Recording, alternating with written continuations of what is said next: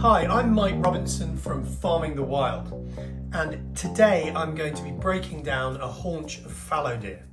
Now, butchery is one of the most important skills to get the most out of your quarry. So, what have we got here? Let's have a look at this beautiful haunch of deer weighing probably 10 pounds. Now, as you can see, it's been boned off the carcass and the shank has been sawed off here. What have we got to do? Well, first thing we do to make a start on this to get the most out of it is we want to take the shank off. Now, the shank is a lovely, lovely cut in its own right. So we, that's all we do here is we find the flat joint and make a very clean cut straight across, like so. And then straight through the flat joint, you wiggle the knife and off it comes. And there we have a perfect shank that can be braised and slow cooked and turned into something absolutely magnificent, all sticky, maybe with red wine, wild mushrooms, glazed shallots. It's a delicious thing in its own right. And in fact, slow braised shank is one of the recipes I'm going to be cooking in this series. But, you know, first of all, we have to get our deer leg boned out. And I'm going to do this in the French style, which is called seaming, and this really gets the most out of it. So look at the end bone here. And the knife is going to follow this to, there is the hip joint here. So I'm going to go in an even cut, like so, until I get down to the joint. And then I'm going to just score with the very tip of the knife along the inside of the bone. And if you do it like this, you won't cut into any of the primal muscles, which will all be perfect. Work your way around the outside. And now lift up the bone, go underneath it, moving it around.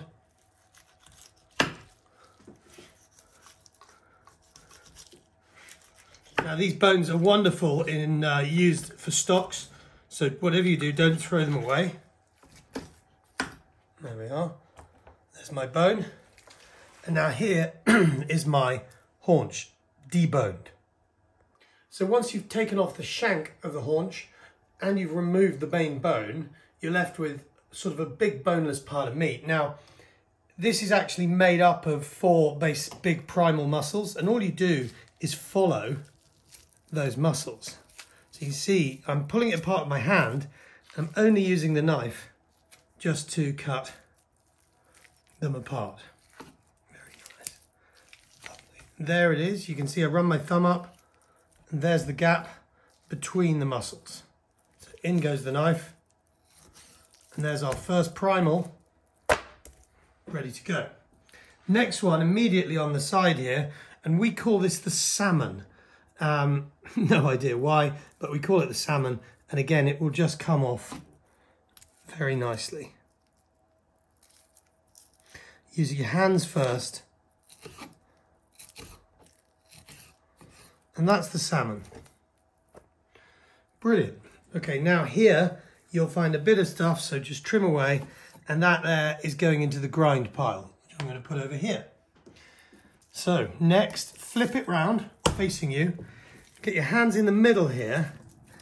And what we're trying to do here is get underneath the chump or the top rump.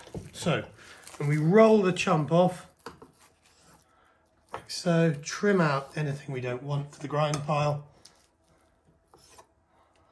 And there you have a perfect chump or top rump. Okay, next, the last two major primals just come apart like so. You see how easy this is.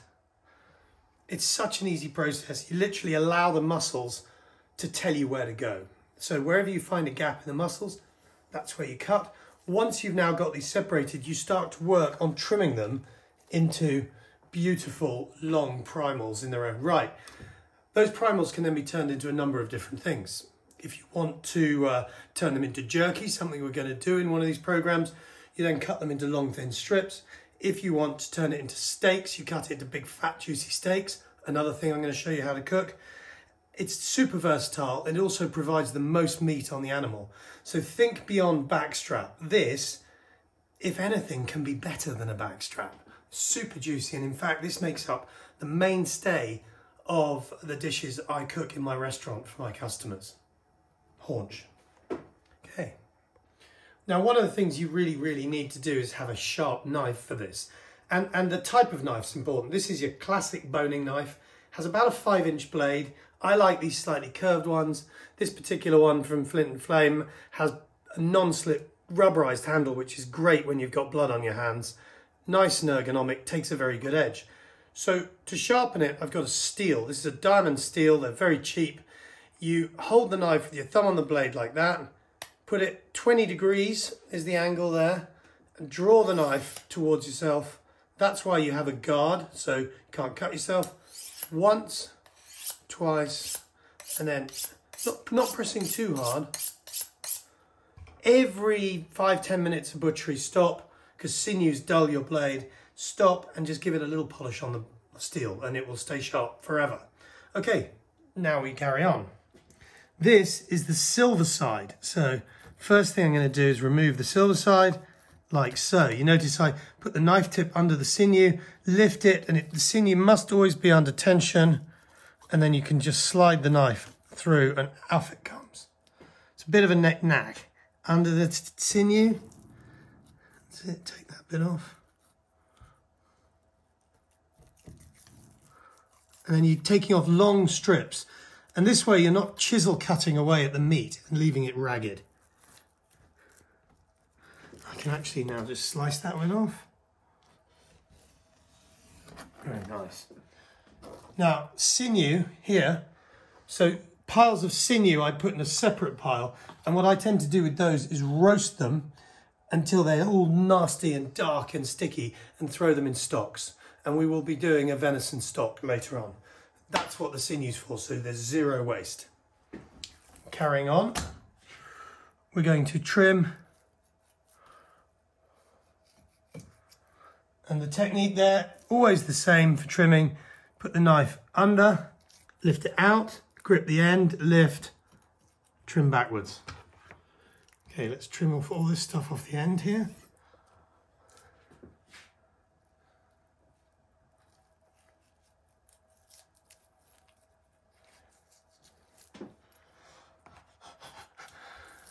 Very nice. Take your time too, please don't be in a rush. Okay, so now we need to remove the underside, all of that. Best way, make a cut in about an eighth of an inch from the end, turn it, this is like skinning a fish. So angling the blade down and just driving it along. And you will leave a little bit on there, but again, that will go in my meat sauce, mainly it's coming off nicely. Now we'll take this rest of it off with the sinew technique. Okay, so that's pretty much done. We have a beautiful clean silver side, one of my favorite cuts on the animal. And this cut this cuts really well into steaks. So if you're going to steak cut it, cut it down like that, cut it into steaks every like so. And I'd say you want about eight ounce steaks, nice size.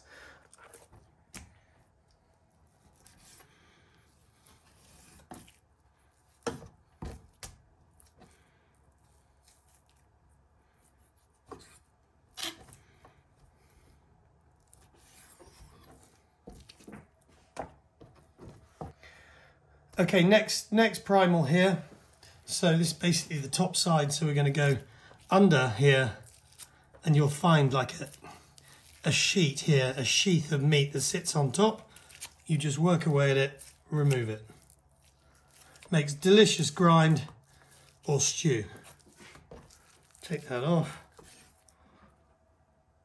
Now this particular piece cuts into two separate muscles as you can see, there and there.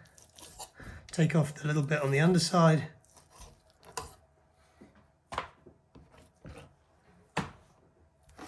Trimming.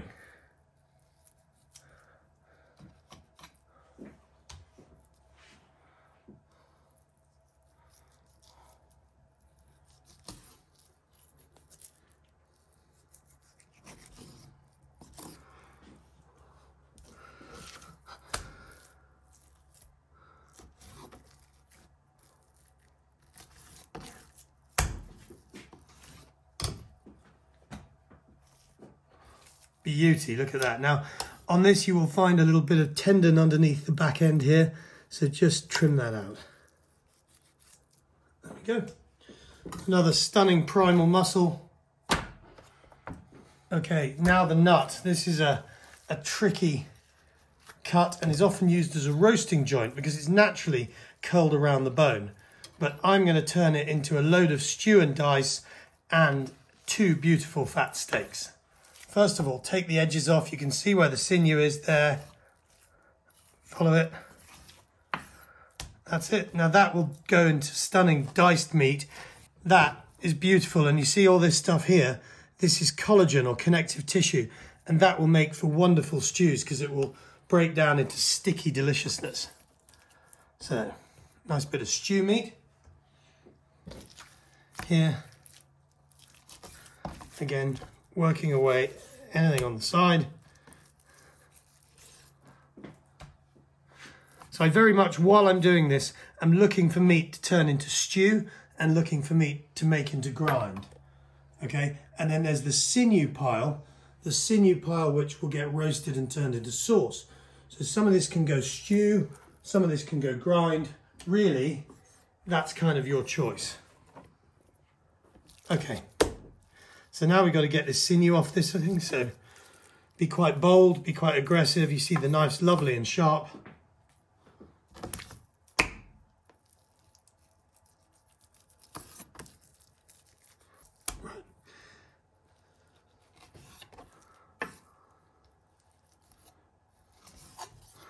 Okay, now, there is a sinew that runs basically down the center of this.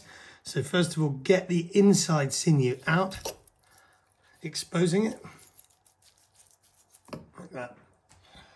Don't be afraid of this, it's delicious. And now I'm gonna take the knife at the angle, following the line of that main sinew that runs down the middle. Take that little bit off.